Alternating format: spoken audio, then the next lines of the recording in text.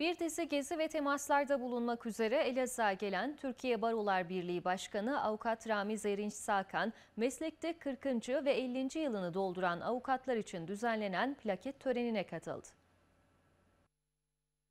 Türkiye Barolar Birliği Başkanı Avukat Ramiz Erinç Sakan, bir dizi gezi ve temaslarda bulunmak üzere Elazığ'a geldi. Elazığ ziyaretinde Başkan Sakan'a Türkiye Barolar Birliği Genel Sekreteri Avukat Veli Küçük, TÜREVAK Başkanı Avukat Enverhan ve Tunceli Barosu Başkanı Avukat Fatma Kalsen eşlik etti.